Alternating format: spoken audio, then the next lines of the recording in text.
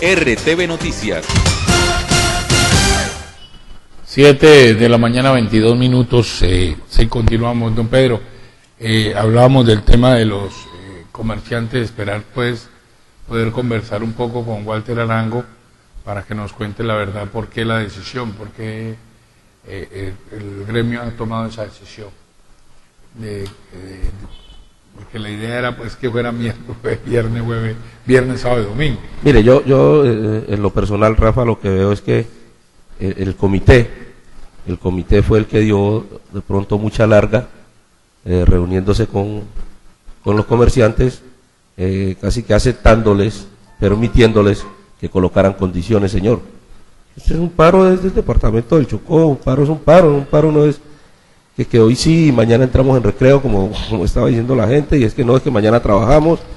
Es que mire, lo- eh, yo veo con preocupación, Rafa, eh, eh, este tema donde lo- los jefes, los gerentes, los propietarios, en esta toma de decisiones que de pronto pueden ser terminando muy calenturientas, de unas decisiones de momento, decisiones personales que involucran a funcionarios y trabajadores porque yo le digo, ahí están invitando eh, los comerciantes a todos sus trabajadores a marchar hoy, algo que se podría mirar casi que en contra del paro, Claro.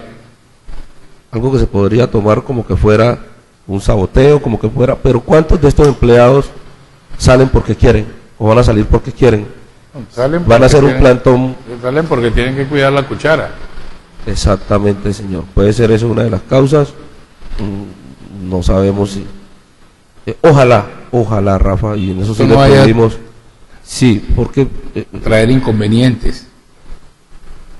Sí, Eh, termina siendo preocupante, Rafa, que eh, una marcha de estas vaya a pasar por donde está la concentración del paro. Claro. Hay que ser muy, hay que tener mucha mesura, hombre, hay que tener mucha mesura, cuidado. mucho cuidado los comerciantes en este tema. Mire, y es que eh, eh, para para que eh, de una vez, hombre, hagamos un favor, saluda al señor Juan Gabriel Torres. Para que Sí, permítame la- si me lo, me lo ponen, me lo acomodan en la cámara. Que me lo, me lo acomoden en la cámara para poderle saludar como se merece a don Juan Gabriel Torres. Mister. Salúdenlo, hombre, y seguimos la conversa. Bueno, Don Juan Gabriel, ¿cómo va? No, Mire, muy bien, buen día Rafael para usted, para Pedro Valdés, para todos nuestros televidentes.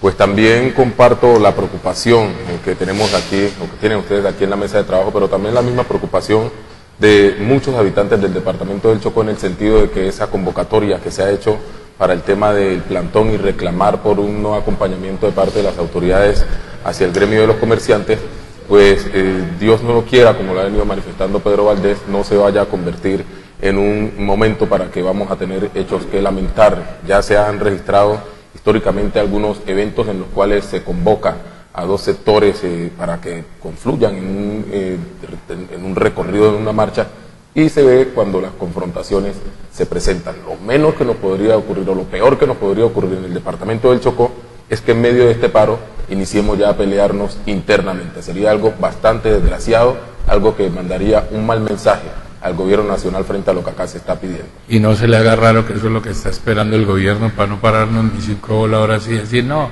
allá se están matando los chocuanos, dejemos los que se maten, allá se matan los comerciantes con los del comité, porque eso es, la, ese, ese es lo que espera el gobierno. Lo otro es que hay que esperar a ver si de pronto eh, se toma otra decisión y no se hace esa marcha y, y se le permite a la gente del comité que siga con su con su trabajo de paro y a la gente del Chocó que está indignada porque ya se han Sí. unido muchos, Sí, Rafa, muchos yo- municipios.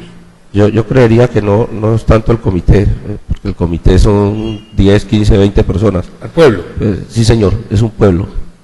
Es un pueblo eh, que está reclamando lo que siente, eh, un pueblo que está reclamando igualdad, un pueblo que está reclamando, porque mira, muchas de las personas que van allí en la marcha ni siquiera conocen a los del comité. No tienen ni idea. No, no, no, no, no tienen ni idea. Entonces, eh, anoche lo hablaba con, con Francisco, sean 10, sean 20, sean 30, sean 80 mil, sean 40 mil, hay que respetarle el derecho a la protesta a los demás Eh, ha sido algo muy pacífico, hay que reconocerlo. Esta vez no se han dejado provocar los, los muchachos. Eh, ha estado la policía también muy encima allí, eh, acompañada de los bomberos, que, apagando las llantas. Bueno, esperamos que esto no, no se nos salga.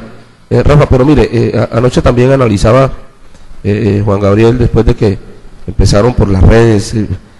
hay, alguna, algún tipo de cosas que vengan de donde vengan están siendo malintencionadas porque le están metiendo racismo a la cosa, eh, al parecer en cabeza de algunos comerciantes, no sabemos si son reales o no, pero aparecen en Facebook, eh, después aparece, sí señor, después aparecen unas disculpas, pero mire, yo me, yo, yo, me preguntaba ayer, ahora con el tema de los comerciantes, aquí en el Chocó, porque hay que decirlo en el Chocó entero, un panfleto manda a cerrar a todo mundo.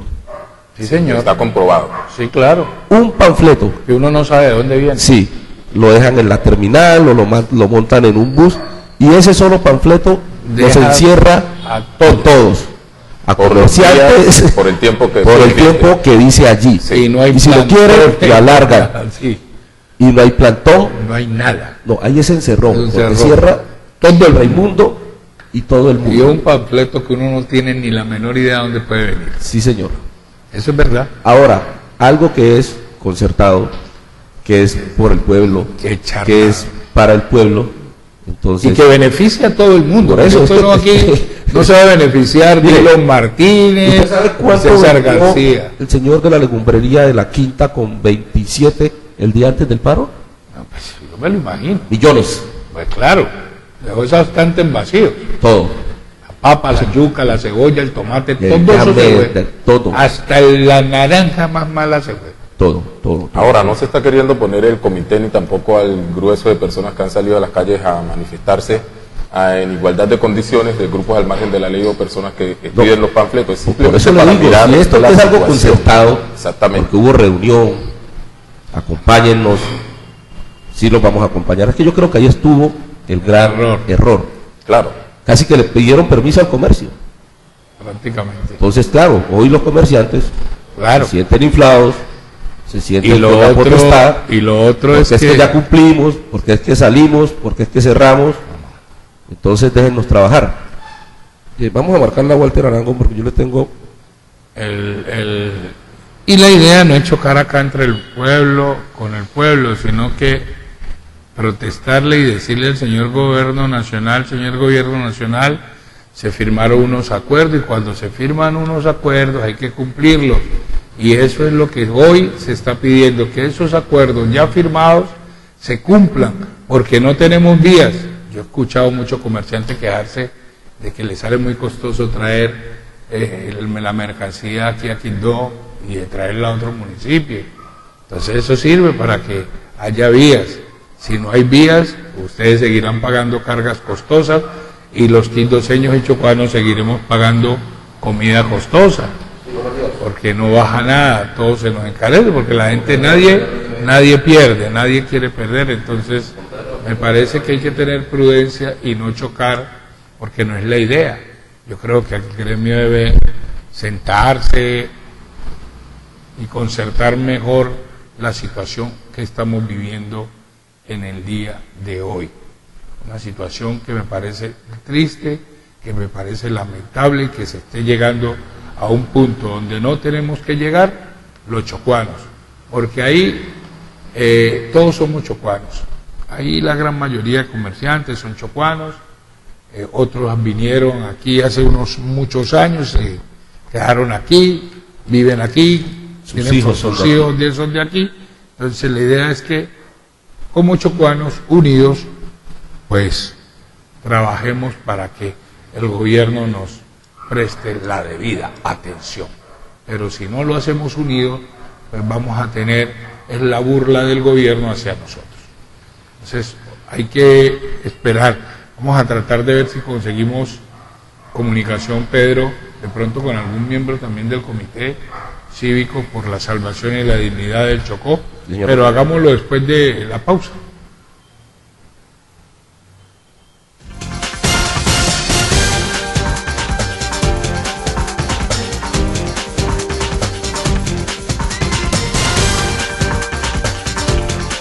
RTV Noticias. Ahora la radio se toma la televisión.